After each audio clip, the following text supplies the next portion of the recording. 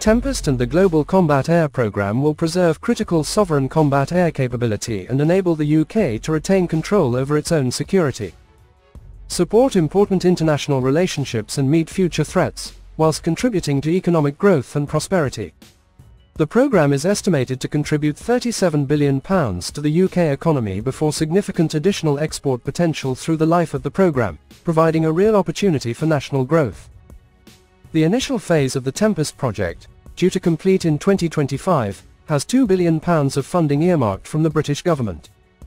The ultimate project costs are likely to run into the tens of billions of pounds. Classed as a sixth-generation fighter, the plane is intended to replace the Royal Air Force's current Eurofighter Typhoon, which has been in service since 2003. The program was created when British and Japanese efforts to develop next-generation jets were merged. Tempest will outclass current state-of-the-art aircraft such as the US Air Force's Lockheed Martin F-22 Raptor, F-35 Lightning II and China's J-20 Mighty Dragon. Japan, Italy and the United Kingdom have reiterated a strong commitment to their joint fighter jet development program. In a bid to allay concerns that the multi-billion dollar endeavor could be impacted by a UK strategic defense review expected next year.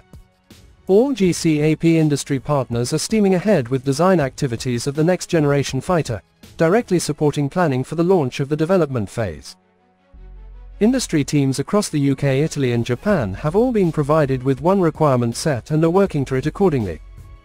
The aerospace giants developing Britain's next-generation Tempest fighter jet have unveiled a new design of the aircraft amid fears for the future of the multi-billion pound programme.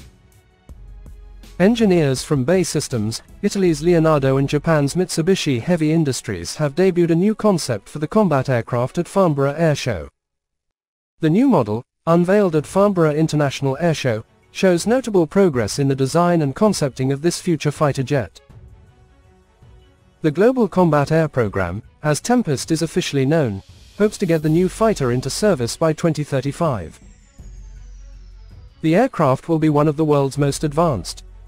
According to its developers, featuring intelligence weapons systems and a next-generation radar that provides 10,000 times more data than current technology.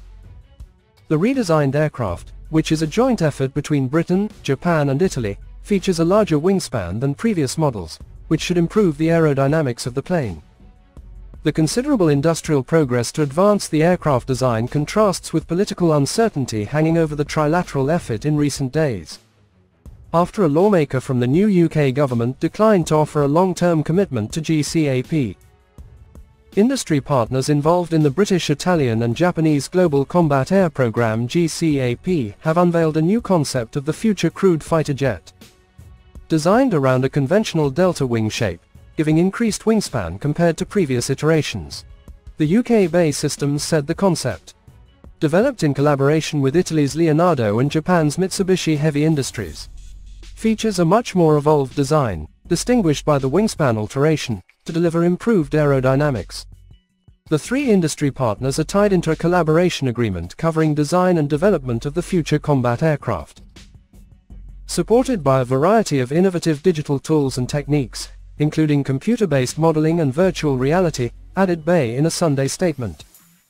The apparent industrial progress to advance the aircraft design contrasts with political uncertainty hanging over the trilateral effort in recent days after a UK lawmaker from the new Labour government declined to offer a long-term commitment to GCAP.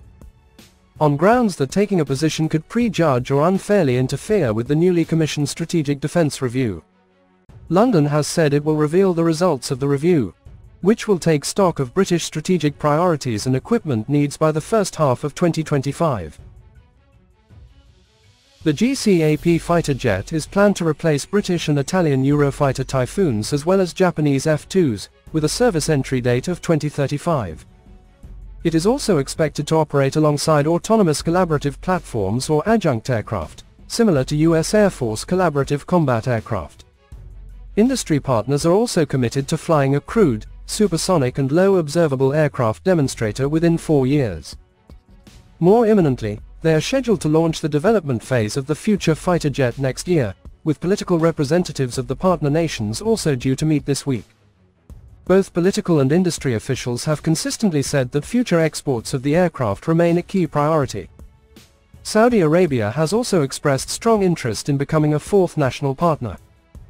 But nothing concrete has emerged since the UK indicated in September that no definitive timeline is in play to potentially welcome Riyadh.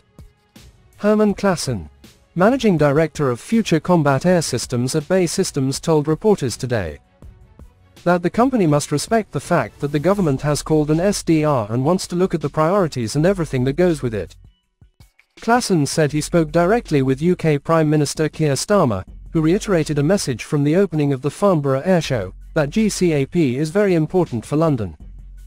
He suggested that the financial investment from the UK MOD to sustain the multi-million effort is on solid ground explaining.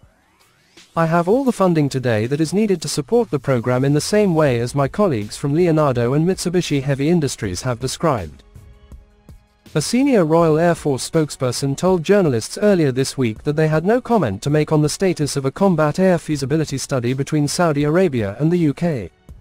Which Richard Berthon, director of UK Future Combat Air at the British Ministry of Defence, told Breaking Defence in September 2023 was necessary so a maturity of understanding could be developed between London and Riyadh.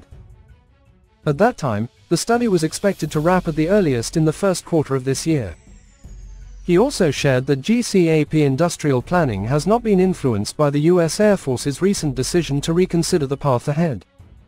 For its next generation air dominance NGAD 6th generation program.